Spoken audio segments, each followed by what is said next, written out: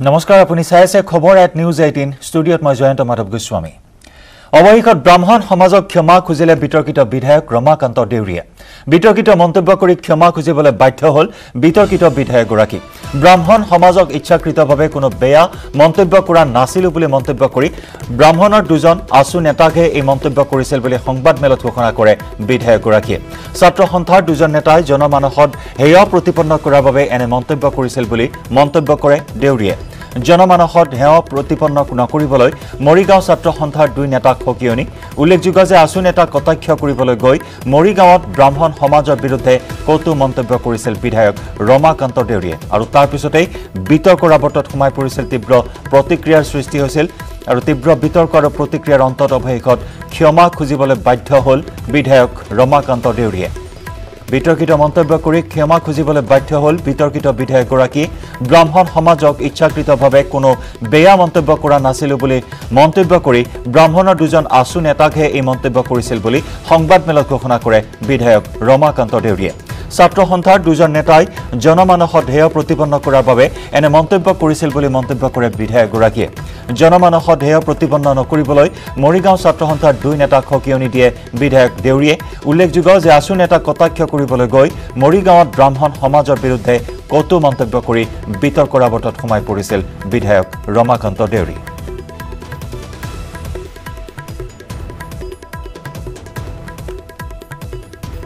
আৰু সদৌ অসম ছাত্ৰ সন্থাৰ দুগৰাকীকৈ ব্ৰাহ্মণ নেতাৰ বিৰুদ্ধে কটু মন্তব্য কৰিছিল আৰু দুগৰাকীকৈ আছু নেতাক কটাক্ষ কৰিবলৈ গৈ ব্ৰাহ্মণ সমাজৰ বিৰুদ্ধে বিৰূপ মন্তব্য কৰিছিল বিধায়ক ৰমাকান্ত দেউৰীয়ে আৰু তাৰ পিছতে তীব্ৰ প্ৰতিক্ৰিয়া আৰু বিতৰ্কৰ সূত্ৰপাত হয় আৰু অৱশেষত ক্ষমা খুজিবলৈ বাধ্য হ'ল ৰমাকান্ত দেউৰী। ব্ৰাহ্মণ সমাজৰ দুই আছু নেতাকহে তেওঁ মন্তব্য কৰা বুলি সংবাদমেলত ঘোষণা কৰে। নহয় ব্ৰাহ্মণ সমাজে মই অনুৰোধ কৰিছোঁ যে মোৰ ভুল হোৱাটো। আৱেগিকভাৱে ভুল হ'ল মই সমাজ শিক্ষা খুজিছোঁ মই ক'ব নলগা কথা ব্ৰাহ্মণ সমাজেই ক'ব নালাগিছিলে। সেইকাৰণে সমগ্ৰ অসমৰ ব্ৰাহ্মণ সমাজক মই অনুৰোধ জনাইছোঁ আৰু আহ্বান জনাইছোঁ। মই তেখেতকৰ ওচৰৰ ওচৰত সমাজ শিক্ষা মাগিছোঁ। যদি মই আপোনালোকৰ জাতিক ধৰি আৱেগিকভাৱে ওলাই যোৱা বাক্যশা যাতে আপোনালোকে সমাজ শিক্ষা মই আপোনালোকৰ ওচৰত সমাজ শিক্ষা মাগিছোঁ।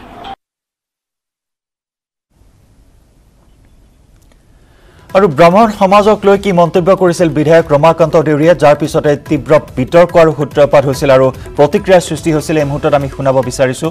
ব্ৰাহ্মণ সমাজক লৈ বিধায়ক ৰমাকান্ত দেউৰীয়ে কি বিৰূপ মন্তব্য আগবঢ়াইছে?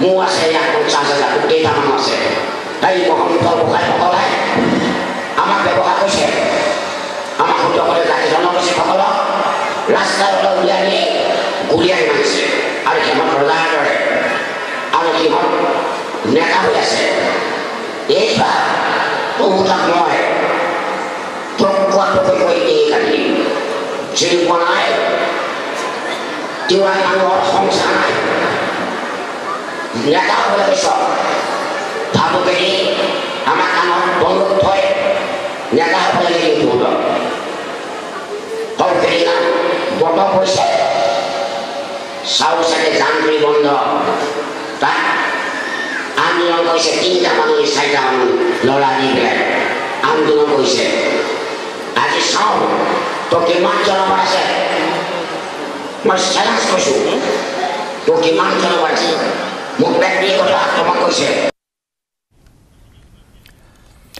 অসম আৰক্ষীত পুনৰ কলংকৰ দাগ ধন দাবী কৰি এইবাৰ গ্ৰেপ্তাৰ হ'ল এছ আই দীপজ্যোতি দাস। এজন ব্যক্তিৰ পৰা লৈছিল এক লাখ টকাৰ উৎকোচ। ডিব্ৰুগড়ৰ টেঙাঘাটত আৰক্ষী থানাত কৰ্মৰত দীপজ্যোতি আৰু দীপজ্যোতিৰ পৰা আৰক্ষীয়ে ইতিমধ্যে জব্দ কৰিছে ধনখিনি। অসম আৰক্ষীত পুনৰ কলংকৰ দাগ ধন দাবী কৰি গ্ৰেপ্তাৰ এছ আই দীপজ্যোতি দাস। এজন ব্যক্তিৰ পৰা লৈছিল এক লাখ টকাৰ উৎকোচ। ডিব্ৰুগড়ৰ টেঙাঘাট আৰক্ষী থানাত কৰ্মৰত দীপজ্যোতি দাস। ইতিমধ্যে দীপজ্যোতিৰ পৰা আৰক্ষীয়ে জব্দ কৰে উৎকোচ লোৱা এক লাখ নগদ ধন।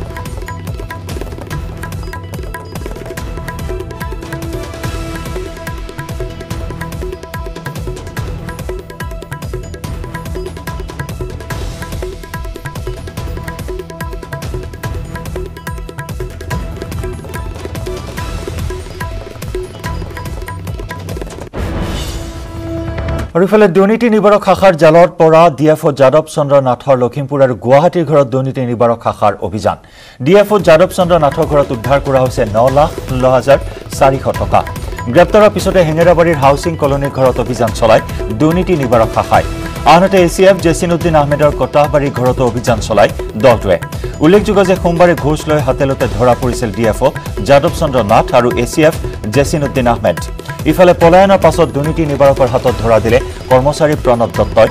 উৎকোচৰ ধন বিচাৰি ট্ৰেক্টৰৰ মালিক মহম্মদ জমিৰুদ্দিনলৈ ফোন কৰিছিল কৰ্মচাৰী প্ৰণৱ দত্তই। আৰু তাৰ পিছত হাতেলোতে জালত পৰে।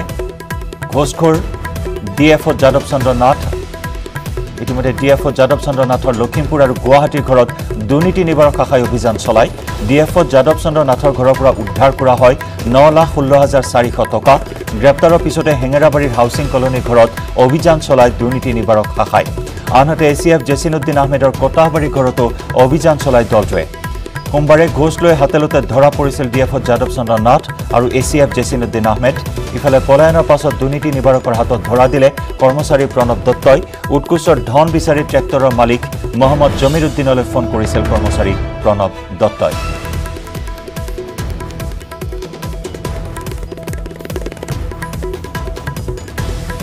লখিমপুৰত নিশা পৰ্যন্ত চলিল দুৰ্নীতি নিবাৰক শাখাৰ অভিযান। লখিমপুৰ আৰক্ষীৰ সহযোগত ডি এফ যাদৱ চন্দ্ৰ নাথ আৰু এ চি এফ জেচিনুদ্দিন আহমেদৰ চৰকাৰী বাসগৃহত তালাচী অভিযান। বহু পৰিমাণৰ নগদ ধন জব্দ কৰে অভিযানকাৰী দলটোৱে। প্ৰণৱ দত্ত নামৰ বনকৰ্মীজনে এজাহাৰকাৰী যুৱকজনৰ লগতে বিভিন্নজনক বিষয়া কেইজনৰ ইছাৰাত উৎকোচ দাবী আৰু লেনদেন কৰিছিল। নিশা অভিযান সামৰি তিনিওজনকে সদৰ আৰক্ষী থানাত থোৱাৰ পিছত আজি গুৱাহাটীলৈ অনাৰ সম্ভাৱনা আছে। উল্লেখযোগ্য যে যোৱা তিনি বছৰে এই তিনিজন বনদস্যুৱে লখিমপুৰত এক অৰাজক পৰিস্থিতিৰ সৃষ্টি কৰি আহিছিল। বনাঞ্চল ধ্বংসকাৰীৰ পৰা উৎকোচ লোৱাৰ পৰা আৰম্ভ কৰি শিল বালিৰ কুৱেৰী টিম্বাৰ ডিপু আদিৰ পৰা সংগ্ৰহ কৰিছিল ধন। অৱশেষত জমিৰুদ্দিন নামৰ যুৱকজনে দুৰ্নীতি নিবাৰক শাখাৰ ওচৰত দিয়া এখন এজাহাৰৰ ভিত্তিত গ্ৰেপ্তাৰ কৰা হয় এই ঘোষখোৰ বিষয়াকেইজনক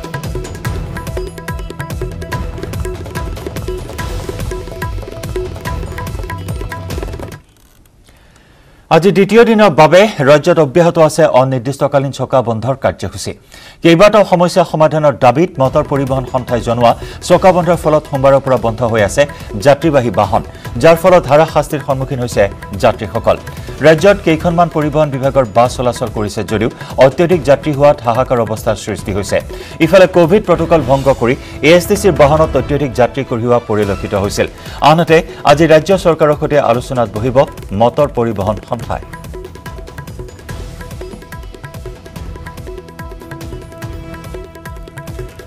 চকাবন্ধৰ ফলত ৰাজ্যত যাত্ৰীসকলৰ মাজত সৃষ্টি হৈছে হাহাকাৰ অৱস্থাৰ বিশেষকৈ মহানগৰীত চৰম বিপৰ্যয়ৰ সন্মুখীন হৈছে যাত্ৰীসকল। মহানগৰীত চলাচল কৰা কেইখনমান এ এছ টি চি বাহনত অত্যধিক যাত্ৰী কঢ়িওৱা হৈছে। সোমবাৰে কভিড প্ৰটকল উলংঘা কৰি যাত্ৰীৰ অত্যধিক যাত্ৰী কঢ়িয়াৰ বাবে তীব্ৰ প্ৰতিক্ৰিয়াৰ সৃষ্টি হৈছিল। এই ক্ষেত্ৰত কোনো পদক্ষেপ গ্ৰহণ কৰা নাই পৰিবহণ বিভাগে। এতিয়া প্ৰশ্ন হয় কভিড প্ৰটকল কেৱল সাধাৰণ লোকৰ বাবেহে নেকি?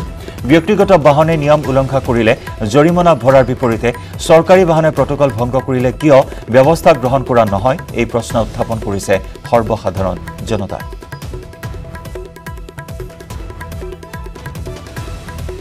আজি দ্বিতীয় দিনৰ বাবে অব্যাহত আছে চকা বন্ধৰ কাৰ্যসূচী। জনতাক সকাহ দিবলৈ চৰকাৰে এ এছ টি চি বাছৰ ব্যৱস্থা কৰিছে যদিও ই ঢুকি পোৱা নাই যাত্ৰীক। অটো আৰু উবেৰত ভাড়া বহুত হোৱাৰ বাবেও সেই সুবিধা লাভ কৰিব পৰা নাই বহুতেই ফলত বাছ আস্থানতে ভিৰ কৰিছে যাত্ৰীসকলে।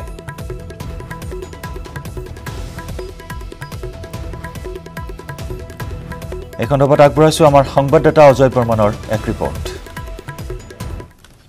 বন্ধ কাৰ্যসূচী অসম মটৰ পৰিবহণ সন্থাই যি তেওঁলোকৰ দাবী সন্মিলিত স্মাৰক পত্ৰ উল্লেখ কৰা হৈছিল যে পূৰ্বতে উল্লেখ কৰা চাৰিখনকৈ স্মাৰক পত্ৰ পৰিবহণ বিভাগ দিছিল তেওঁলোকে তাৰপিছত পৰিবহণ বিভাগে তেওঁলোকৰ লগত সমাধানৰ কোনো পদ লোৱা নাছিল আৰু তাৰপিছতে এনেদৰে যোৱা সোমবাৰৰ পৰা মহানগৰীত অব্যাহত আছে চকা বন্ধ কাৰ্যসূচী এই মুহূৰ্তত মই উপস্থিত আছোঁ মহানগৰীৰ নাৰেংগীৰ এটা বাছষ্টেণ্ডত আৰু নাৰেংগী বাছষ্টেণ্ডৰ মই দৃশ্য দেখুৱাইছোঁ যে পুৱাৰে ভাগৰ পৰা ইয়াতে যি অফিচ কাছাৰীত যোৱা লোকসকল ইয়াতে গোট খাইছে বহু সংখ্যক লোক ইয়াতে গোট খাইছে। এটা কথা উল্লেখ কৰিব লাগিব যে অসম পৰিবহণ নিগম লিমিটেডৰ তৰফৰ পৰা ইতিমধ্যে গুৱাহাটীত বহুকেইখন বাছৰ যোগান ধৰাইছিল। কিন্তু সেই বাছ পৰ্যাপ্ত নোহোৱাৰ কাৰণে যি বাছ স্থানসমূহ আছে মহানগৰীৰ বিভিন্ন স্থানৰ আমি দৃশ্য দেখুৱাই গৈছোঁ। পুৱাৰে ভাগৰ পৰা আৰু যি বাছ স্থানসমূহ আছে বাছ স্থানসমূহত বহুসংখ্যক যাত্ৰী গোট খাইছে। আৰু এই মুহূৰ্তত মোৰ এজন লগত এজন যাত্ৰী দাদা অলপ নামি আহিছে আপুনি। এজন তেওঁৰ পৰা কিছু কথা সুধিব। ক- কলৈকে যাব দেৰি পৰা আপুনি আচলতে মই কাছাৰীলৈ যোৱাৰ কথা আছিলে তাৰ পৰা আচলতে জালুকবাৰীলৈ যোৱাৰ কথা আছিলে। যোৱাকালিও যাব নোৱাৰিলোঁ বাছৰ অভাৱৰ কাৰণে। আৰু আটাইতকৈ কথা কি এপাচি শাকত এটা জালুক দিয়া নিচিনাকৈ এছ চি চি নিগমৰ তৰফৰ বাছ দিছে। য'ত তাৰমানে পাঞ্জাবাদী এ, মানুহ নিয়াৰ ফলত এটা যিহেতু কৰোণা নিজে আক্ৰান্ত হৈছিলোঁ হৈ পেলাই আছিলোঁ যাৰ ফলত ভয়ত কালি যাব নোৱাৰিলোঁ আজিও সেই একে পৰিস্থিতি। আৰু বিশেষকৈ আজি এটা বস্তু দেখা পালোঁ যে জৰুৰীকালীন সেৱাৰ এই বাছ সেৱা তাক অসম মটৰ পৰিবহণ সন্থাই ইতিমধ্যে বন্ধ দিছে বিভিন্ন নদীয়া দাঁতিত। আৰু তাৰে এটা দাবী আছে বাছ বৃদ্ধি কৰাত ইতিমধ্যে চন্দ্ৰ ভাড়া বৃদ্ধি কৰাত। ইতিমধ্যে চন্দ্ৰমোহন পাটোৱাৰী ঘোষণা কৰিছে বাছ ভাড়া বৃদ্ধি নহয়। আমিও এই ক্ষেত্ৰত অসম পৰিবহণ নিগমৰ যি মটৰ পৰিবহণ সন্থাক অনুৰোধ জনাইছোঁ এই ভাড়া বৃদ্ধিটো বন্ধ কৰে। বাকী যিসমূহ দাবী আছে সেই দাবীসমূহ সময়ত আজি যিহেতু আলোচনা আছে আবেলি বেলিয়াৰ তাত চৰকাৰ মানে মটৰ পৰিবহণ সন্থাৰ যি এটা দাবীৰ তেওঁলোকৰ আলোচনা হোৱা নাই কাৰণে সাধাৰণ ৰাইজে যিহেতু ভুগিব লাগে মই ক'লো কি এজমাৰ অন্তৰ্ভুক্ত এই বাছ পৰিবহণ জৰুৰীকালীন সেৱা আজি স্কুল চব সকলো খুলি দিছে উদ্যোগ প্ৰতিষ্ঠান সকলো দোকান পোহাৰ সকলোখিনি খুলি দিয়াৰ পিছত বাছ সেৱাটো জৰুৰী হৈ পৰিছে। তাৰ কাৰণে অসম পৰিবহণ মটৰ পৰিবহণ সন্থাই অলপ চিন্তা কৰিব লাগে। তেওঁলোকৰ দাবীসমূহ ন্যায্য দাবী বুলি আমি ধৰি লৈছোঁ কিন্তু ন্যায্য দাবীৰ ক্ষেত্ৰতো জনসাধাৰণৰ প্ৰতিও চাব লাগিব। সকলো জনসাধাৰণ কৰোণাত আক্ৰান্ত হৈছে বিভিন্ন ধৰণৰ সমস্যাত পৰিছে। বাছ ভাড়া বৃদ্ধিটোৰ ক্ষেত্ৰত তেওঁলোকে অলপ হ'লেও তেওঁ তেওঁলোকে শিথিল হ'ব লাগিব। আৰু বাকী যিসমূহ দাবী আছে সেই দাবীখনত চৰকাৰে আচলতে চৰকাৰী তৰফৰ পৰা সমাধানৰ সূত্ৰ উলিয়াব লাগিব সমাধানৰ সূত্ৰ উলিয়াব। নিশ্চয়কৈ এটা কথা উল্লেখ কৰিব লাগিব যে চৰকাৰে চৰকাৰক যি পৰিবহণ নিগম পৰিবহণ নিগমক যি মটৰ পৰিবহণ সন্থাই যি এটা যি দাবী দিছিল সেই দাবীসমূহ সোনকালে অনতিপলমে তেওঁলোকে পূৰণ কৰাৰ ব্যৱস্থা কৰিব লাগে বা সমাধানৰ এটা সূত্ৰ বিচাৰি উলিয়াব লাগে। অন্যথা এই যি যাত্ৰীসমূহ যে তেওঁলোকে যি গন্তব্যস্থানত এই মুহূৰ্তলৈকে যাব পৰা নাই বা ঘণ্টা পিছত ঘণ্টা তেওঁলোকে বাসস্থানত বাছৰ বাবে ৰখি ৰৈ থাকিব লগা হৈছে। খবৰৰ ধাৰা আমি অব্যাহত ৰাখিম। সময় হৈছে এটি চমু বাণিজ্যিক বিৰতিৰ। কাৰ্বি আংলঙত আৰক্ষী আৰু উগ্ৰপন্থী সংগঠন ইউ পি আৰ এফৰ মাজত সংঘৰ্ষ। এই সংঘৰ্ষত ইউ পি আৰ এফৰ অধ্যক্ষ মাৰ্টিন গুইটে থিতাতে নিহত হয়। পুৱতি নিশা সিংহাসন পাহাৰৰ জলেনত সংঘটিত হয় এই সংঘৰ্ষ। আৰক্ষী আৰু কামাণ্ডো বাহিনীয়ে চলাইছিল এই অভিযান। অভিযানৰ নেতৃত্ব দিছিল মাঞ্জা থানাৰ অ' চি জিতুমণি ডেকাই। উল্লেখযোগ্য যে আগষ্ট মাহত ইউ পি আৰ এফৰ অধ্যক্ষ মাৰ্টিন গুইটেই বোকাজানৰ এটা বনভোজস্থলীত সাধাৰণ লোকৰ সৈতেও ছেলফি উঠিছিল। কাৰ্বি আংলঙত আৰক্ষী আৰু উগ্ৰপন্থী সংগঠন ইউ পি আৰ এফৰ মাজত তীব্ৰ সংঘৰ্ষ। সংঘৰ্ষত ইউ পি আৰ এফৰ অধ্যক্ষ মাৰ্টিন গুইটে নিহত হয় থিতাতে পুৱতি নিশা সিংহাসন পাহাৰৰ জলেনত সংঘটিত হয় এই সংঘৰ্ষ। আৰক্ষী আৰু কামাণ্ডো বাহিনীয়ে চলাইছিল এই অভিযান। অভিযানৰ নেতৃত্ব দিছিল মাঞ্জা থানাৰ অ' চি জিতুমণি ডেকাই। উল্লেখযোগ্য যে আগষ্ট মাহত ইউ পি আৰ এফৰ অধ্যক্ষ মাৰ্টিন গুইটেই বোকাজানৰ এটা বনভোজস্থলীত সাধাৰণ লোকৰ সৈতে ছেলফি উঠিছে।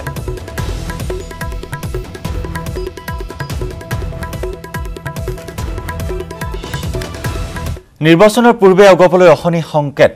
বিগ ব্ৰাদাৰ বিজেপিৰ সমীক্ষাত একৈছৰ নিৰ্বাচনত এখনো আসন নাপায় অগপই সমীক্ষা মতে উজনি অসমত এখনো আসন নাপায় অগপই ৰণত পৰিব অগপ সভাপতি অতুল বৰা আৰু কাৰ্যকৰী সভাপতি কেশৱ মহন্ত। দুহেজাৰ একৈছৰ নিৰ্বাচনৰ বাবে বিজেপিয়ে ৰাজ্যজুৰি আৰম্ভ কৰিছে নিৰ্বাচনী সমীক্ষা। এই সমীক্ষাৰ অংশ হিচাপে বিজেপিৰ নিৰ্দেশত নতুন দিল্লীৰ এক সংস্থাই সমীক্ষা চলাইছিল অসমত। প্ৰফুল্ল কুমাৰ মহন্তৰ বাদে পৰাস্ত হ'ব অগপৰ ৰথী মহাৰথীসকল। বোকাখাটত একৈছ শতাংশ লোকেহে অগপক বিচাৰে বুলি মন্তব্য কৰি সাতচল্লিছ শতাংশ লোকে বিজেপিক আৰু ত্ৰিছ শতাংশ লোকে জিতেন গগৈৰ পক্ষত আছে বুলি সমীক্ষাত প্ৰকাশ পাইছে। এই সমীক্ষা প্ৰকাশ পোৱাৰ পাছতেই এতিয়া অশনি সংকেত বৃদ্ধি পাইছে অগপৰ। বিগ ব্ৰাদাৰ বিজেপিৰ সমীক্ষাত একৈছৰ নিৰ্বাচনত এখনো আসন লাভ নকৰিলে নকৰে অগপই।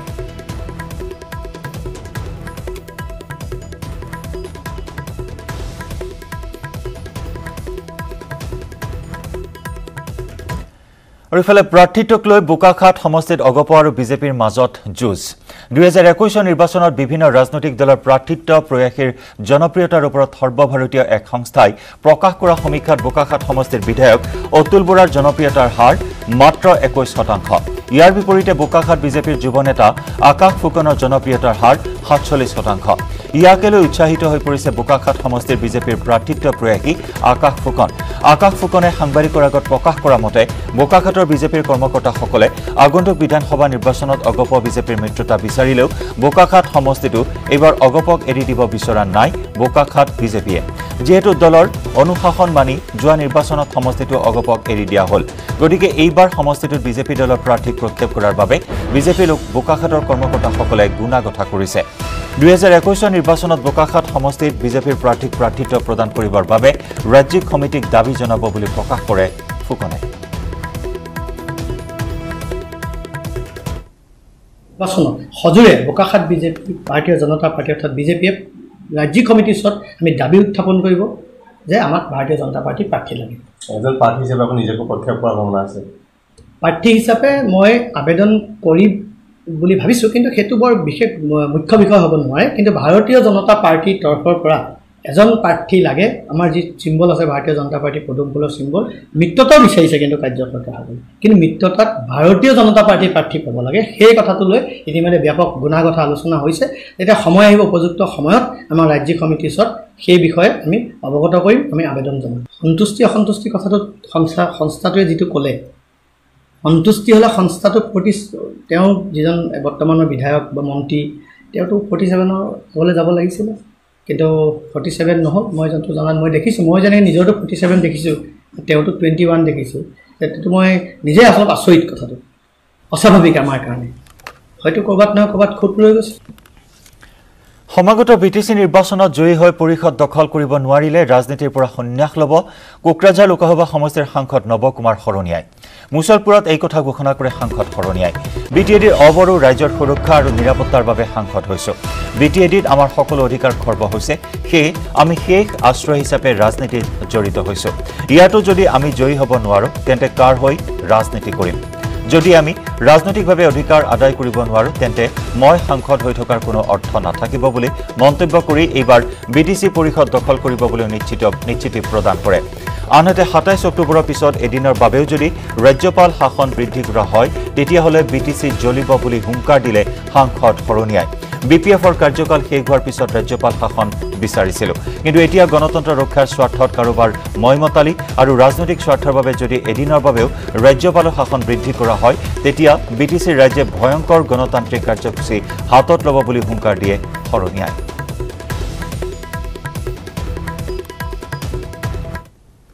আমি হাতে ধৰে আৰু আমি ভাবিছোঁ যে থাৰ্টি প্লাছ আমি চিট ল'ব পাৰিম ইয়াত কোনো। ৰাইজে আমাক একমাত্ৰ এম পি বনাইছিল এইকাৰণে যে ইয়াত যাতে বি টি চি স্থায়ী শান্তি হয় বা বি টি চি সৰ্বহাৰা অধিকাৰ বা বঞ্চিত ৰাইজে যাতে অধিকাৰ ঘূৰাই পায়।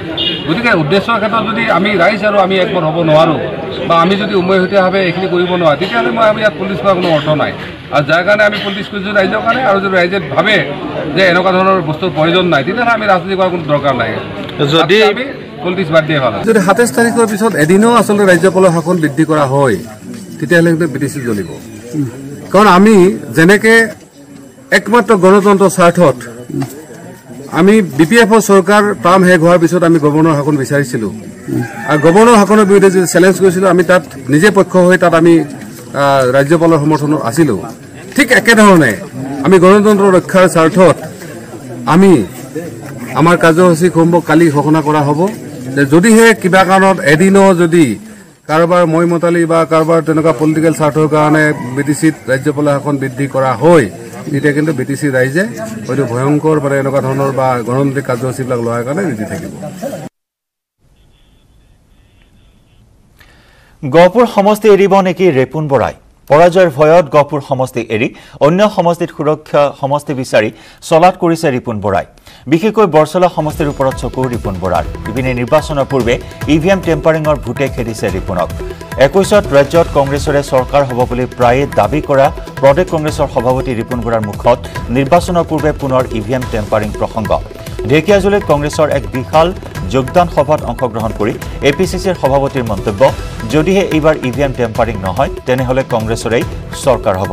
অনুষ্ঠানত অংশগ্ৰহণ কৰি বিজেপিক তীব্ৰ কটাক্ষ ৰিপুণ বৰাৰ। মোক বহুত ঠাইৰ পৰাই নিমন্ত্ৰণ কৰিছে। নট অনলি বৰচলা বহু ঠাইৰ পৰাই নিমন্ত্ৰণ কৰিছে। নতুন আঞ্চলিক দলকেইটাৰ লগত আপোনালোকৰ কিবা?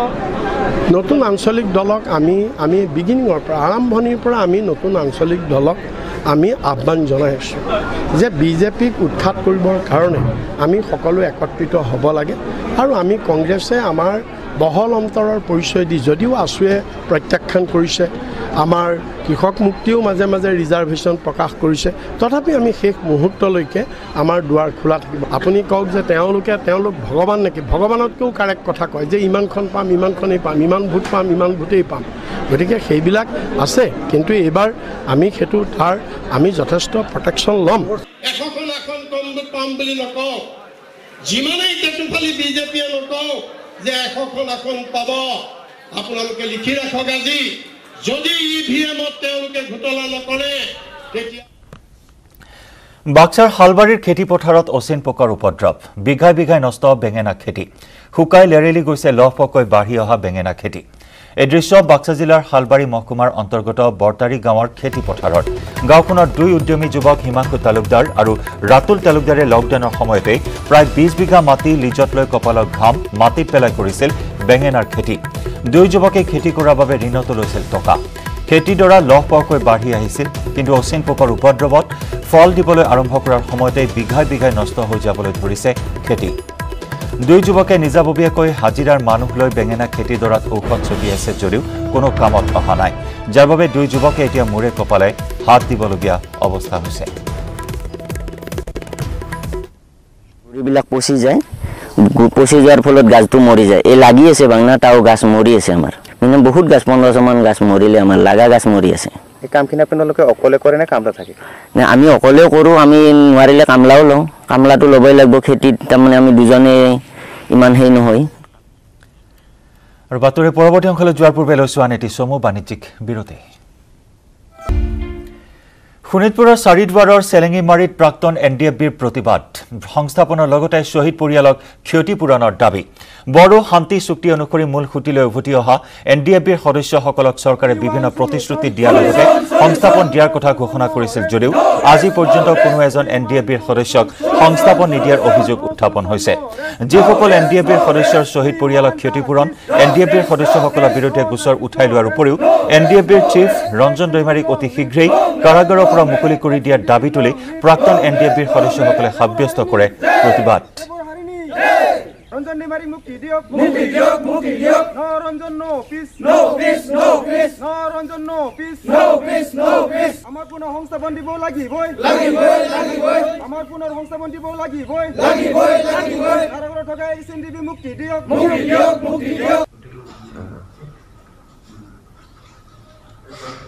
উঠি আছে।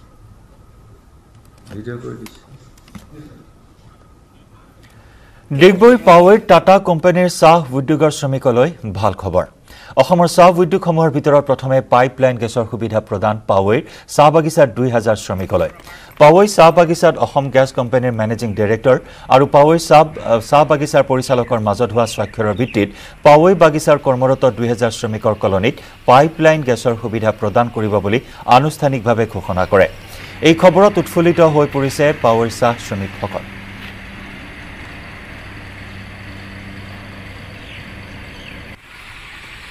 আগবঢ়াইছো আমাৰ সাংবাদিক ৰীণা কাকতি গগৈ এক ৰিপৰ্ট। ঠগ শোষণ আৰু প্ৰবঞ্চনাৰ বলি হৈ থকা চাহ শ্ৰমিকসকলৰ বাবে অৱশেষত আহিল ভাল খবৰটো। অসম চৰকাৰে ঘোষণা কৰা চাহ শ্ৰমিকসকলৰ বাবে যি পাইপ লাইন গেছৰ সুবিধা সেই সুবিধা অসমৰ ভিতৰত পোনপ্ৰথমবাৰৰ বাবে ডিগবৈ পাৱৈ চাহ বাগিচাৰ শ্ৰমিকসকলে পাবলৈ সক্ষম হৈছে। হয় মই এতিয়া উপস্থিত আছোঁ ডিগবৈ পাৱৈ চাহ বাগিচাত। ইয়াত দেখা গৈছে অসম গেছ কোম্পানী আৰু চাহ বাগিচাৰ কৰ্তৃপক্ষৰ যি তেওঁলোকৰ বুজাবুজি আৰু তেওঁলোকৰ স্বাক্ষৰ আধাৰত ইয়াত থকা যিসকল শ্ৰমিক সেই শ্ৰমিকসকলে ঘৰে ঘৰে পাইপলাইনৰ যি গেছৰ সুবিধা পাবলৈ সক্ষম হ'ব। আমাৰ লগত আছে অসম গেছ কোম্পানীৰ মেনেজিং ডাইৰেক্টৰ আমি তেওঁৰ পৰা জানিব চেষ্টা কৰিম। কি ক'ব আপুনি ক্ষেত্ৰত? অসম চৰকাৰৰ উদ্যোগত অসম গেছ কোম্পানীয়ে এটা আঁচনি লৈছে যাৰ ফলত অহা তিনি বছৰত দুই lakh gas connection domestic gas connection দিয়া হ'ব। কিন্তু ইয়াৰ ভিতৰতে এটা অসম গভৰ্ণমেণ্টৰ এটা গাইডেঞ্চত আমি চাহ বাগানবিলাকত চাহ শ্ৰমিকবিলাকত যাতে গেছৰ কানেকশ্যন বিলাক সোনকালে পায়। তাৰ কাৰণে আজি এটা আমি চুক্তি এটা স্বাক্ষৰ কৰিছোঁ। টাটা কোম্পানীৰ পাৱাই এই ডিগবৈ বাগানৰ লগত বাগানৰ লগত য'ত আমি ইয়াতে দুহেজাৰ যিটো শ্ৰমিকৰ লেবাৰ কলনী আছে শ্ৰমিকৰ কলনী আছে এই কলনীত আমি প্ৰত্যেক ঘৰতে আমি গেছৰ কানেকশ্যন অহা দুমাহৰ ভিতৰতে আমি দিম। আৰু এইটো যিটো আমাৰ আঁচনি এই আঁচনিটো জাষ্ট আৰম্ভণিহে। আমি চেষ্টা কৰিম অসমৰ যিমান বাগা- বাগান আছে শ্ৰমিকৰ প্ৰত্যেক ঘৰতে যাতে গেছ ঘৰে ঘৰে যাতে গেছ যায় তাৰ ব্যৱস্থা কৰা আমি প্ৰবঞ্চনা আমি চলাই আছোঁ। আমি ঘৰে ঘৰে কামিয়াৰ মাই মেইনলি মাইকীবিলাক আমাৰ work force major work force হয় আমাৰ উইমেন চ' ইহঁতি মাইকী মানুহ তিতি তিতি আহে গোটেই দিনটো কাম কৰি আহে খৰিটো তিতা ভাত বনাবলৈ বহুত টান পায়।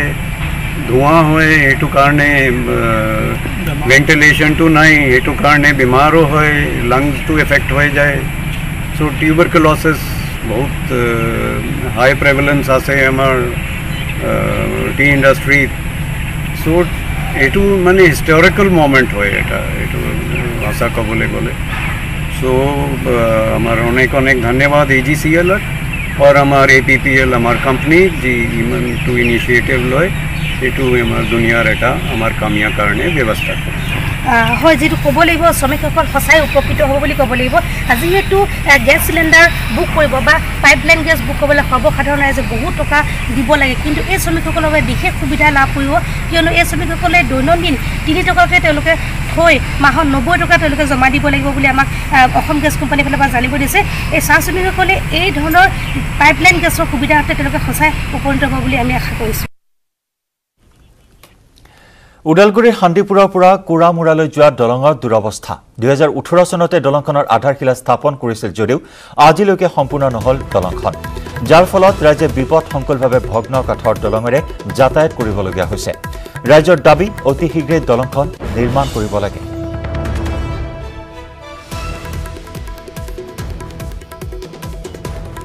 আগবঢ়াইছো ওদালগুৰিৰ পৰা আমাৰ সাংবাদিক ৰিপুঞ্জয় নাথৰ ৰিপৰ্ট। ওদালগুৰি জিলাৰ শান্তিপুৰৰ পৰা খেৰখেৰীয়া হৈ কোৰামূৰ বাগানলৈ যোৱা পথ আৰু এই পথটোৰ ওপৰত এই দলংখন দুহেজাৰ ওঠৰ চনতে আধাৰশিলা স্থাপন কৰিছিল মন্ত্ৰী ৰিহন দৈমাৰীয়ে। কিন্তু এই মুহূৰ্তলৈকে এই দলংখনৰ কি কিমান আগবাঢ়িছে মোৰ কেমেৰা সহযোগীয়ে দুবছৰৰ ভিতৰত দলংখনৰ এইখিনি কাম আগবাঢ়িছে আৰু এইটো এটা ব্যস্ত পথ বুলি ক'ব লাগিব। কোৰামূৰ চাহ বাগিচাকে আৰম্ভ কৰি এই অঞ্চলৰ যাতায়াতৰ বাবে এইখন দলঙৰ যি নিবিদা লাভ কৰিছিল ঠিকাদাৰে আৰু তাৰপিছত কিন্তু দলংখন আধৰুৱা কৰি থৈ গ'ল। যি স্থানীয় যি পথাচাৰী আছে তেওঁলোকৰ পৰা মই জানিব বিচাৰিম। কি ক'ব কেনেকুৱা অসুবিধা হয় দলংখন আমাৰতো এইটো বহুত অসুবিধা হৈ আছে। বহুত দিন বছৰ পৰা আমি এই ভাঙা জংঘলৰ ওচৰত দি যাব লাগে। কেতিয়াবা কোনোবাই কিমান দিন আগতে পৰিও গৈছে। মানুহ এজন পৰি পেলাই বহুত দুখো পাইছে।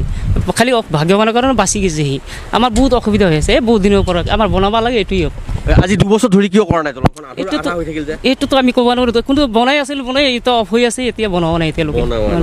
হয় আৰু পথাচাৰী আছে তেওঁলোকৰ পৰা মই জানিব বিচাৰিম যে কি ক'ব খুৰা দলংখন আজি দুবছৰ ধৰি এনেদৰে পৰি আছে কেনেকুৱা অসুবিধা হৈছে? এইটো দলংখন আজি হ'ব লাগে। এই বছৰ হ'ব লাগে। কিন্তু কেইবা মানুহ ইয়াতে পৰি আছে। এইটো দলংখন এই বছৰ হ'ব লাগে। হ'ব লাগে। হ'ব লাগে। নহয় বহু অসুবিধা হৈছে আপোনালোকৰ? অসুবিধা আমাৰ অসুবিধা হৈছে। ইয়াৰ কাৰণে আমি ক'ব লগা হৈছে। বাইদেউ ক'ৰ পৰা আহিছে? এই বজাৰ পৰা আহিছে দোকানৰ পৰা অ। এ, আপোনাৰ এনেকৈ আহোঁতে দলংখনৰ পৰা অসুবিধা হৈছেনে? অসুবিধা হৈছে বহুতে। অসুবিধা হৈছে। আৰু পথাচাৰী আছে তেওঁলোকৰ পৰা মই জানিব বিচাৰিম। আপুনি এই পথৰে প্ৰায় অহা যোৱা কৰে। কেনেকুৱা অসুবিধা হয় এইখন অসুবিধা হয় ভয় লাগে অহা যোৱা কৰোঁতে। কিয় দলংখন কিয় নিৰ্মাণ নকৰে? কিয় বা নকৰে কৰিম কৰিম বুলি? আধৰুৱা কৰি দিছে কৰিম কৰিম কি ক'ব? দলং বুলিয়ে নহয় ৰাস্তাটো বেয়া। যাব নোৱাৰে আৰু। হোৱা নাই। দলংখনতো হোৱাই নাই ৰাস্তাটো যাব নোৱাৰিব। সেইদিনাখনহে ছোৱালী দুজন পৰি গ'ল তলত আকৌ কমৰ ভাঙিছে হাত ভাঙিছে। বহুত বছৰৰ পৰা বিৰাট কষ্ট পাই আছোঁ এইখন দলং। আগৰ পি ডাব্লিউৰ হে নে বাগা- এই কোৰামূৰ বাগানৰ কোনটো দায়িত্বত আছে নাজানো আজিলৈকে। একেবাৰে বৰ মানে বহুত বছৰৰ পৰা সেইটো কষ্ট পাই আছোঁ এইটো দলং। দলংখন দুবছৰ ধৰি আৰম্ভ কৰিছে এতিয়ালৈ হোৱা নাই হোৱা নাই হোৱা নাই হোৱা। শিল বালিৰো অভাৱ নাই। শিল বালিৰ অভাৱ নাই। এয়া শিল বালি একেবাৰে লগতে আছে কিন্তু একেবাৰে বৰ হেৰি লেহেমকৈ কৰিছে দিয়ক। হয়। হয় আচলতে মোৰ কেমেৰা সহযোগী দেখুৱাবলৈ অনুৰোধ যে এই দলংখন নিৰ্মাণ কৰোঁতে আচলতে শিলবালিৰ ইয়াতে কোনো অসুবিধা নাই। যিহেতু এই নদীৰ লগতে মোৰ কেমেৰা সহযোগীয়ে দেখুৱাব ভূটান পাহাৰৰ পৰা নামি অহা এইবিলাক শিল শিলৰ পৰা আৰম্ভ কৰি বালি সকলো ইয়াতে পোৱা যায়। তাৰপিছতো কিন্তু এই যি ঠিকাদাৰ আছে ঠিকাদাৰে অতি লেহেমীয়াভাৱে দলংখন কৰাৰ বাবে দুই হাজাৰ ওঠৰ চনৰ জানুৱাৰী মাহত তেইছ জানুৱাৰীত দলংখনৰ আধাৰশিলা স্থাপন কৰিছিল। তাৰপিছত কোনো দলংখন এতিয়ালৈকে নিৰ্মাণ নকৰিলে। যাৰ বাবে ৰাইজে যিহেতু ভুগিব লগা হৈছে ইয়াতে। গতিকে অতি শীঘ্ৰে ৰাইজৰ দাবী অতি শীঘ্ৰে দলংখন নিৰ্মাণ কৰি যাতে। বাৰিষাই ক্ৰমান্বয়ে বিদায় লোৱাৰ পিছতে প্ৰকৃতিৰ বুকুলৈ সন্তৰ্পণে নামি আহিছে শৰৎ। পদূলিৰ শেৱালি জোপাই শৰতৰ আগমনৰ লগে লগে সুগন্ধিৰ বতৰা বিলাইছে চৌদিশে। এতিয়া শেৱালি ফুলাৰ বতৰ। শেৱালিৰ সুবাসে শৰতৰ মাদকতা দুগুণে বৃদ্ধি কৰে। তাৰোপৰি নদীৰ পাৰে পাৰে কহুৱাৰ হালি জালি। সৰি পৰা শেৱালিয়ে পুৱতি নিশা চোতালখন শুভ্ৰ আৰু মোহনীয়া কৰি তোলে। বাৰিষাৰ ক'লা মেঘৰ আৱৰণ আঁতৰাই নীলা আকাশত জোনাকৰ ৰূপোৱালী কিৰণে আমাক সোঁৱৰাই দিয়ে শৰতৰ আগমনৰ বতৰা। নৈৰ বালিচৰত কহুৱাৰ হাঁহি পুৱাৰ দুবৰিত জিলিকি থকা মুকুতা যেন নিয়ৰৰ টোপোলা। শৰতৰ সন্ধ্যা জোনাকে ৰূপোৱালী পোহৰ বিলাই দিয়ে চৌপাশে যেন জোনাকৰ পুষ্প বৃষ্টিহে নামি আহিছে পৃথিৱীৰ বুকুলৈ।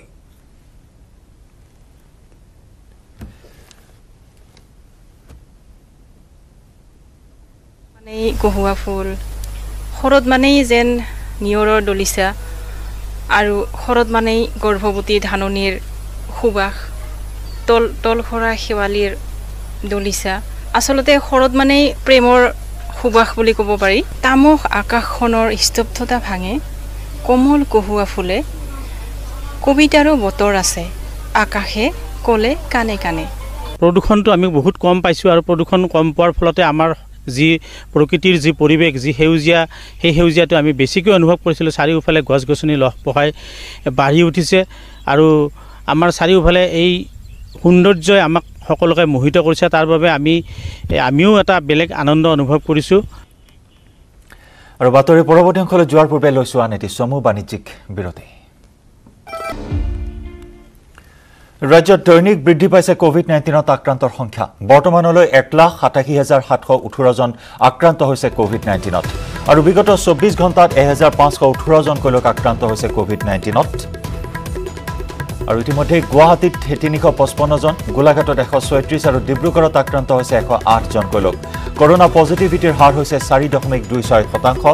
বৰ্তমানলৈ আৰোগ্য লাভ কৰিছে এক লাখ তেৱন্ন হাজাৰ চাৰিশ আঠাশীজন ৰোগীয়ে। আনহাতে চিকিৎসাধীন হৈ আছে তেত্ৰিছ হাজাৰ চাৰিশ সাতষষ্ঠিজন ৰোগী। বৰ্তমানলৈকে কভিড নাইণ্টিনে ৰাজ্যত প্ৰাণ ল'লে সাতশ ষাঠিজনকৈ লোকৰ।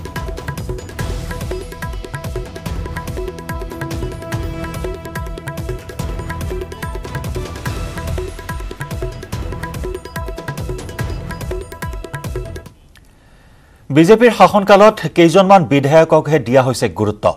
অধিকাংশ পুঁজি কেইজনমান বিধায়কৰ নামত খৰচ কৰি অধিকাংশকে বঞ্চিত কৰা হৈছে। এই অভিযোগ প্ৰাক্তন মন্ত্ৰী ৰকিবুল হুছেইনৰ। বৰ্তমান বিজেপিৰ চল্লিছজন বিধায়কৰ নহয় বিজেপি দলটোৰহে ৰিপৰ্ট কাৰ্ড বেয়া বুলি মন্তব্য কৰে হুছেইনে। আনহাতে কংগ্ৰেছ এ আই ডি এফৰ জোট বন্ধনত বিজেপি শংকিত হোৱা বুলি মন্তব্য কৰি বিজেপিয়ে ৰাজ্যক কৰা তুচ্ছ তাচ্ছিল্যৰ বাবেই এই জোট বন্ধন হোৱা বুলি মন্তব্য কৰে ৰকিবুল হুছেইনে।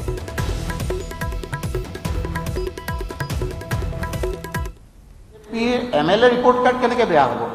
যদি চৰকাৰখনে সেই সমষ্টিটোত যদি আৰ্থিকভাৱে অনুদান দিছে তেতিয়া এম এল এজন এচিভমেণ্ট বেয়া হ'ব নোৱাৰে নহয়।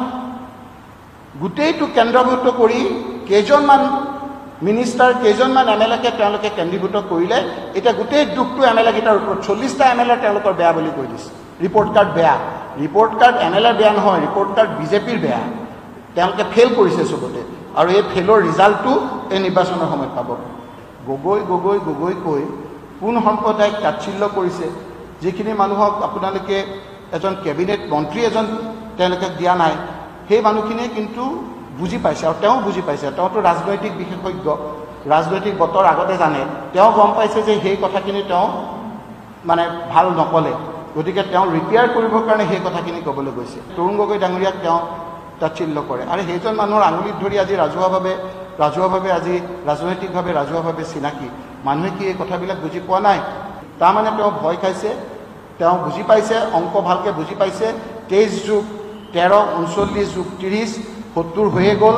আৰু তেওঁলোকে যে এই পোৱা নোপোৱা ভেঙুচালি সেই সত্তৰ আৰু ত্ৰিছ পাম তেওঁলোকৰ এশটো ঠিকেই থাকিব। এশ যুগৰ জেগাত মাইনাছ হ'ব। মহাজোঁটৰ এশ লৈ পেলাই আমি চৰকাৰ কৰিম। যোৱাবাৰ এ জি পি বিজেপিৰ এলায়েন্সটো একেবাৰে শেষত হৈছিল। শেষলৈকে এ জি পি আমাৰ লগত কথা পাতি আছিল। যোৱাবাৰ এ জি পিয়ে আমাৰ লগত বিভিন্ন ধৰণৰ কথা পাতি আছিল। এইবাৰতো এ জি পিৰ দুটা ভাগ সেইটো নুসুধে আপোনালোকে। যে প্ৰফুল্ল মহন্তই যে বিভিন্ন ধৰণৰ কথা কৈ আছে আপোনালোকে কথা পাতিছে নেকি? ইফালে চামগুৰিত আৰক্ষীয়ে আটক কৰিলে হেৰইনসহ দুজন ড্ৰাগছ সৰবৰাহকাৰীক। দীৰ্ঘদিন ধৰি ড্ৰাগছ সৰবৰাহকাৰী দুটাই চামগুৰিৰ বিভিন্ন অঞ্চলত চলাই আহিছে ড্ৰাগছৰ গোপন সৰবৰাহ। আশ্ৰাফুল ইছলাম আৰু আছাদুল ৰহমান নামৰ ড্ৰাগছ সৰবৰাহকাৰী দুটাৰ পৰা আৰক্ষীয়ে উদ্ধাৰ কৰিছে প্ৰায় পঁচিছ হাজাৰ টকা মূল্যৰ হেৰইন।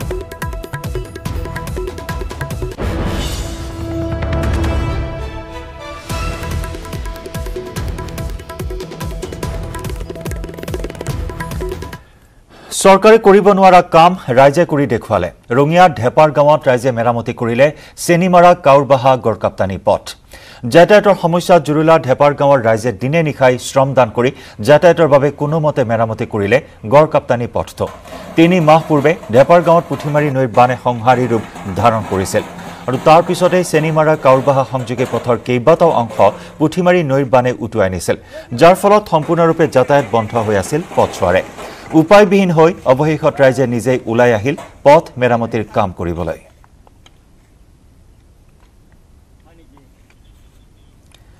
চাৱাহক ৰঙিয়াৰ পৰা আমাৰ সাংবাদিক ইনামুল ইছলামৰ ৰিপৰ্ট। হয় মই আছোঁ ৰঙিয়াৰ চেনিমাৰা কাউৰবাহা পথৰ থেপাৰ গাঁৱত জৰাজীৰ্ণ পথ। তিনি মাহ পূৰ্বে বানত বিধ্বস্ত হৈ পৰিছিল পথটো বন্ধ হৈ পৰিছিল। তাৰ পিছত পিছত আজি স্থানীয় ৰাইজে আহি পথটো মেৰামতিত লাগিছে। সকলো ওলাই আহিছে পথ মেৰামতি কৰিবলৈ। আমাৰ লগত ইয়াত স্থানীয় লোক আছে তেখেতসকলৰ পৰা জানিবলৈ বিচাৰিম। আহ, কেনেকুৱা সমস্যা হৈছিল পথটো ভাঙি যোৱাৰ ফলত?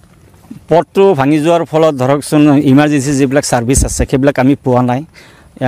মোটামুটি বানপানী হোৱাৰ পোন্ধৰ দিন পিছত পানীৰ ওপৰতেই প্ৰসূতি মানে তিৰোতাজনী প্ৰস- প্ৰসৱ কৰিছিল কৰিছিল তাৰপিছত দুজনমান বেমাৰী নিব নোৱাৰাৰ কাৰণে চিকিৎসাৰ অভাৱত তেওঁলোকে মৃত্যুবৰণ কৰিছে। বহু ধৰণৰ যন্ত্ৰণা আমি পাই আছোঁ। আজি যিটো নেকি আমাৰ ঘৰচীয়া সামগ্ৰী সেইবিলাক সামগ্ৰীৰ কাৰণে বহুত মানে টকা পইচা দামেদি আমি কিনি খাব লগা হৈছে। একমাত্ৰ যাতায়াতৰ ব্যৱস্থা নোহোৱাৰ কাৰণে। আজি কি কৰা গ'ল? আজি আমাৰ দলঙৰ মাথা দুটা ভাঙা আছিলে। সেই মাথা দুটা আমি ভাঙ বনালোঁ এতিয়া ৰাইজে মিলি। তেখেতে আমি অনুৰোধ জনাম আমাৰ স্থানীয় বিধায়ক মন্ত্ৰী ভৱেশ কলিতা ডাঙৰীয়াক অতি শীঘ্ৰে যাতে আমাৰ ঠেপাৰগাঁও অঞ্চলৰ বানে বিধ্বস্ত কৰা ৰাস্তা ঘাটসমূহ অতি সোনকালে ৰিপেয়াৰিং কৰি যাতে দিয়ে মেৰামতি কৰি দিয়ে। পথটোত বানে যি যি যি ঠাইত বানে সহায় লৈ গৈছিল তাৰপিছত পথত অহা যোৱা কৰাৰ ক্ষেত্ৰত যাতায়াত যথেষ্ট অসুবিধাৰ সন্মুখীন হৈছিল। আৰু ৰাইজে দাবী জনাইছে চৰকাৰৰ ওচৰত অতি সোনকালে জৰাজীৰ্ণ পথটো মেৰামতি কৰাৰ বাবে। দুই হাত বান্ধি এঘণ্টা পঁচপন্ন মিনিটত তিনি হাজাৰ চাৰিশ বিৰান্নব্বৈ কিলোমিটাৰ চাইকেল চলাই ৰেকৰ্ড কৰিলে গোৱালপাৰাৰ কিশোৰ তনবীৰ ফিৰদৌছে। এক অক্টোবৰত তনবীৰ ফিৰদৌছে গোৱালপাৰা চহৰৰ আসলাম আসলাম হস্পিটেলৰ পৰা চাইকেল চলোৱা আৰম্ভ কৰি বঙাইগাঁও জিলাৰ চলন্তপাৰাৰ পৰা পুনৰ উভতি আহি চহৰৰ চলেজ হাস্পতালৰ সন্মুখত সামৰণি মাৰে। দুই হাত বান্ধি এঘণ্টা পঁচপন্ন মিনিটত তিনি হাজাৰ চাৰিশ বিৰান্নব্বৈ কিলোমিটাৰ চাইকেল চলাই তনবীৰ ফিৰদৌছে পূৰ্বৰ সকলো ৰেকৰ্ড ভংগ কৰি অসম বুক অৱ ৰেকৰ্ডছত নাম অন্তৰ্ভুক্ত কৰিবলৈ সক্ষম হয়। সৰুৰে পৰাই হাত বান্ধি চাইকেল চলোৱাৰ অভ্যাস কৰা তনবীৰ ফিৰদৌছে অসম বুক অৱ ৰেকৰ্ডছত স্থান লাভ কৰাৰ পিছতে ৰাষ্ট্ৰীয় পৰ্যায়ৰ বিশ্ব ৰেকৰ্ড কৰাৰ চেষ্টা বৰ্তমান চলাই আছে। তনবীৰ ফিৰদৌছৰ সাফল্যত উৎফুল্লিত হৈ পৰিছে চহৰবাসী ৰাইজ।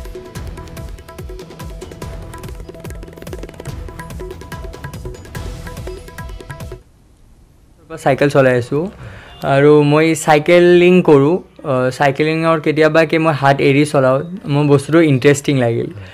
মই সদায় মৰ্ণিঙত ইভিনিঙত নাইন কিলোমিটাৰকৈ চাইকেল চলাই মই হাত এৰি দিওঁ কেতিয়াবাকে। তাৰ এইটো বস্তু মোৰ চুইটেবল লাগিল। তাৰপিছত আছাম বুক অফ ৰেকৰ্ডত এপ্লাই কৰিলোঁ। তাৰপিছত আছাম বুক অফ ৰেকৰ্ডত এপ্লাই কৰাৰ পিছত সিহঁতে মোক ক'লে কি কি কৰিবা? মই ক'লোঁ চাইকেল চলাম। তাৰপিছত কয় চাইকেলটো চবেই চলায় কি কৰিবা চাইকেলত? মই ক'লোঁ হাত বান্ধি চাইকেল চলাম। সিহঁতে অলপ ভাল পালে। অ'কে কৰা। কয় কিমান দূৰ যাবা? মই ক'লোঁ নাইন কিলোমিটাৰমান যাম। তাৰপিছত কয় হ'ব দিয়া কৰা। তাৰপিছত মই ৰেকৰ্ডটো কমপ্লিট কৰি চাওঁ যে thirty four point ninety two kilometre হৈ গ'ল। মই আলচালাম হস্পিটেলৰ পৰা আপোনাৰ বঙাইগাঁও ৰোডৰলৈকে চলেজ হস্পিটেললৈকে এণ্ড কৰিছোঁ। তোমাৰ চাইকেল চলাওঁতে কিবা হাত বনাই কিবা অসুবিধা পাইছা নেকি তুমি? নাই পোৱা। ইটছ কমফৰ্ট কেইবা মাহৰ বিৰতিৰ পিছত ম্যানমাৰ সীমান্তত নিৰাপত্তা বাহিনীৰ ওপৰত দেওবাৰে চলিল ভয়ংকৰ এম্বুছ আছাম ৰাইফলছৰ ওপৰত চলোৱা এই এম্বুছৰ দৰে আসন্ন বিধানসভা নিৰ্বাচনৰ পূৰ্বে আলফা স্বাধীনে সতীৰ্থ বিদ্ৰোহী সংগঠন N S C N K U N L F P L A K Y K এলৰ সহযোগত অসম নাগালেণ্ড অসম অৰুণাচল তথা ম্যানমাৰ সীমান্তত আক্ৰমণ কৰাৰ সম্ভাৱনাৰ কথা প্ৰকাশ পাইছে। দীৰ্ঘ বিৰতিৰ অন্তত পুনৰ ভয়ংকৰ এম্বুজ। একেলগে আলফা স্বাধীন এন এছ এন কে আৰু পি এল এ আছাম ৰাইফলছৰ ওপৰত ভয়ংকৰ আক্ৰমণ। এয়া দেওবাৰৰ পুৱাৰ এম্বুছৰ পিছৰ দৃশ্য। ম্যানমাৰৰ সীমান্তৱৰ্তী অৰুণাচল প্ৰদেশৰ জয়ৰামপুৰৰ হেটলং বস্তিৰ এই স্থানত চলাইছিল আলফা স্বাধীন N S C N K আৰু পি এল এয়ে এম্বুছ এঘাৰ নম্বৰ আছাম ৰাইফলছৰ এইখন পানী কঢ়িওৱা গাড়ীৰ ওপৰত তিনিটা বিদ্ৰোহী সংগঠনৰ যৌথ এম্বুজকাৰীয়ে কৰা আক্ৰমণত ঘটনাস্থলীতে নিহত হয় এজন জোৱান। লগতে বহুকেইটা গুলীৰে গুলীবিদ্ধ হয় আন এজন জোৱান। তথ্যমতে প্ৰথমে এম্বুজকাৰীয়ে আই ডিৰে চলাইছিল আক্ৰমণ। তাৰ পিছতেই এ কে চিৰিজৰ ৰাইফলেৰে চলাইছিল ধাৰাসাৰ গুলী। এই এম্বুছৰ দায়িত্ব সোমবাৰে এক প্ৰেছ বিবৃতিৰ জৰিয়তে স্বীকাৰ কৰিছে আলফা স্বাধীন N S C N K আৰু আৰ পি এফৰ সশস্ত্ৰ গোট পি এল এয়ে। এই এম্বুছৰ পিছতে সমগ্ৰ অঞ্চলটোতে আছাম ৰাইফলছ আৰু ভাৰতীয় সেনাবাহিনীয়ে হেলিকপ্টাৰৰ সহায়ত অভিযান আৰম্ভ কৰে যদিও কোনো এজন এম্বুজকাৰীক কৰায়ত্ব কৰিব পৰা নাই। ইফালে চোৰাংচোৱাৰ এক সূত্ৰই সদৰি কৰা মতে বিধানসভা নিৰ্বাচনৰ পূৰ্বে অনুৰূপ এম্বুজ সংঘটিত কৰাৰ ব্লু প্ৰিণ্ট কৰিছে আলফা স্বাধীনে। এই ক্ষেত্ৰত আলফা স্বাধীনক সহযোগ কৰিব N S C N K U N L F আৰু পি এল এ। সংগঠনকেইটাই নিজ শক্তি প্ৰদৰ্শনৰ বাবেই এনেদৰে ব্লু প্ৰিণ্ট প্ৰস্তুত কৰিছে বুলি সদৰি কৰে চোৰাংচোৱাৰ সূত্ৰই। বিজু কুমাৰ ডেকাৰ report news eighteen north east লখিমপুৰৰ লালুকত ভয়ংকৰ ঘটনা। এটা পৰিয়ালৰ ওপৰত এচিড আক্ৰমণ দুৰ্বৃত্তৰ। শিশু মহিলাসহ গুৰুতৰভাৱে আহত। চিকিৎসালয়ত ভৰ্তি কৰোৱা হৈছে পাঁচজনক। গুৱাহাটীতে পৰিয়ালটোক এচিড আক্ৰমণ কৰা হয়। লালুকৰ কৰোণাবাৰী বেচাপত্ৰীত সংঘটিত হয় এই ঘটনা। আহতসকলক চালেহা খাতুন হাবিজা খাতুন আনোৱাৰা বেগম মামুনি বেগম খুৰ্ছিদা বেগম আৰু এটৰাজ আলী বুলি চিনাক্ত কৰা হৈছে। দুৰ্বৃত্তই নিশা দৰ্জা খুলি ঘৰৰ ভিতৰত প্ৰৱেশ কৰি কিছু টকা পইচা মোবাইল ফোন লুটপাট কৰাৰ পিছত গভীৰ নিদ্ৰাত থকা পৰিয়ালটোক এচিডেৰে আক্ৰমণ কৰে। বৰ্তমান মামুনি বেগম খুৰ্ছিদা বেগম আৰু এটৰাজ আলীৰ অৱস্থা অতি সংকটজনক বুলি জানিব পৰা হৈছে। ইফালে লালুক আৰক্ষীয়ে নিশাই ঘটনাস্থলীত উপস্থিত হৈ আঘাতপ্ৰাপ্ত পৰিয়ালৰ সদস্যসকলক চিকিৎসালয়লৈ প্ৰেৰণ কৰাৰ লগতে দুৰ্বৃত্ত কৰায়ত্ব কৰিবলৈ নিশাৰ পৰাই অভিযান অব্যাহত ৰাখিছে।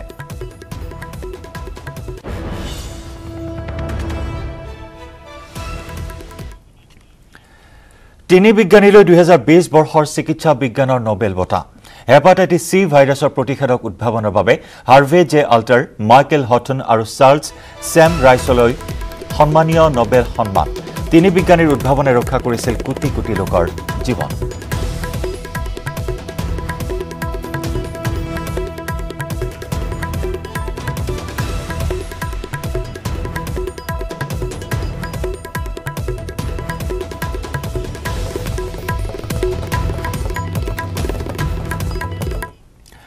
আৰু এই মুহূৰ্তৰ ডাঙৰ খবৰ ব্ৰেকিং নিউজ এছ আই কেলেংকাৰীৰ মূল খলনায়ক পি কে দত্তক গ্ৰেপ্তাৰৰ খবৰ।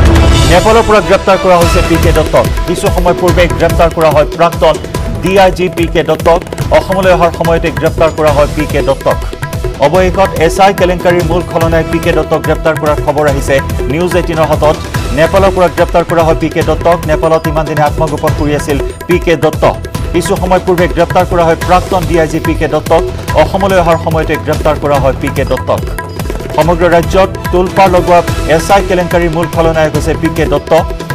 আৰু প্ৰশ্নকাকত ফাদিল হোৱাৰে পৰাই আত্মগোপন কৰি আছিল পি কে দত্ত আৰু অৱশেষত পি কে দত্তক গ্ৰেপ্তাৰ কৰাৰ খবৰ আহিছে। এই মুহূৰ্তৰ ব্ৰেকিং নিউজ অসমলৈ অহাৰ সময়ত গ্ৰেপ্তাৰ কৰা হয় পি কে দত্তক। নেপালত আত্মগোপন কৰি আছিল আৰু নেপালৰ পৰা অসম অভিমুখে আহি থকাৰ সময়তেই গ্ৰেপ্তাৰ কৰা হয় পি কে দত্তক।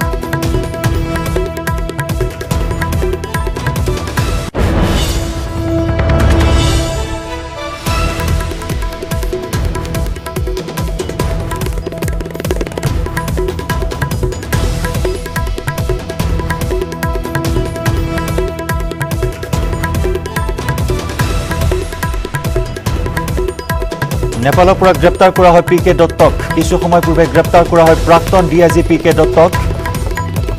আৰু সমগ্ৰ ৰাজ্যজুৰি এছ আই নিযুক্তি কেলেংকাৰীৰে বিতৰ্কৰ সৃষ্টি কৰা খলনায়ক পি কে দত্ত আত্মগোপন কৰি আছিল আৰু বিভিন্ন মহলে দাবী উত্থাপন কৰি আছিল। অতি শীঘ্ৰে পি কে দত্তক গ্ৰেপ্তাৰ কৰিব লাগে। আৰু গ্ৰেপ্তাৰ কৰা হ'ল পি কে দত্তক। আৰু এই সন্দৰ্ভত আমি আপডেট জনাই যাম। সময় হৈছে খবৰ এট নিউজ এইটিনৰ পৰা। বিদায় লোৱাৰ। নমস্কাৰ।